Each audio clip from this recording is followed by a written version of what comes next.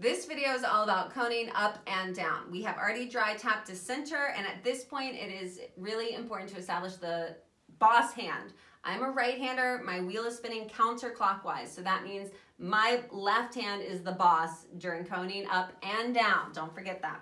That means that this elbow is gonna be anchored in my hip socket. So you gotta scoot up close enough so you can be anchored in your hip socket while allowing the whole meat of your hand up to the palm to be on the bat and leaning against the clay. Because if you can see, just by leaning forward, it pushes from my hip socket into my forearm right into the clay. That means it's the boss. I don't have to worry about wiggles because I am anchored against myself. Now is also when I can use plenty of water. I, in fact, love to keep a wet sponge in my right hand. So my boss hand for coning up and down, you always want to start and end at your bat, unless you want to start with a slight cone down, just to make sure your clay's stuck on there, or just to adhere and make sure your clay's not going to be ripped off when you cone up. So coning up, now that we know it's stuck on there for good, left hand's the boss. My palm is against the bat at a diagonal. I'm trying to create a cone. While the left hand in the boss is preventing any wobbles from happening, my right hand is gonna hold a sponge between my fingertips so that as I need water, it's just sending out that water and preventing any sticks from happening.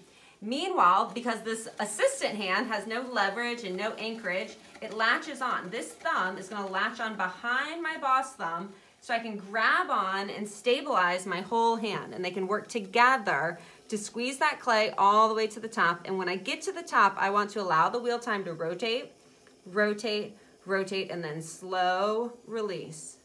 To cone down, left hand still the boss. That means it's anchored in my hip socket. It's leaning at a diagonal against the tip of the clay. The right hand is the assistant. It's gonna hold a wet sponge. I'm gonna hug my boss thumb so I'm anchored together. I'm gonna squeeze water as I need it, and the right hand is gonna karate chop the center of the clay. So I'm gonna hug the thumb, squeezing the clay, right hand is karate chopping down, and here's the key. We're coning up and down. We're trying to create a cone. If I were to stop there, I have a flat tip. To create the cone, I have to drop my right hand. I like to think of it as dropping it like a prayer hand. Left hand's the boss, right hand's holding on. I'm dropping that palm into a prayer hand position all the way to the bat. And then rotate, rotate, rotate, slow release. Sometimes that could be uncomfortable to achieve that little cone. Again, the cone up, you're squeezing from the bottom, fingertip, palm. I'm latched on to this, to this anchored hand. My boss hand's anchored, my right hand's the assistant, latching on. I'm squeezing that clay. And another way to cone down, when you get to the top, let it rotate, rotate, rotate. Clean out my sponge, load it up, hug my thumb, squeeze that water, pushing down.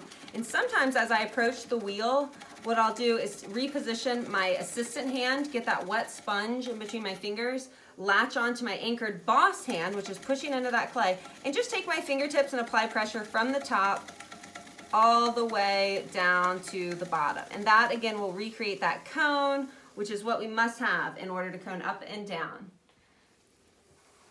Stay tuned for the next video. I'll show you some tips and tricks on some problems I see while coning.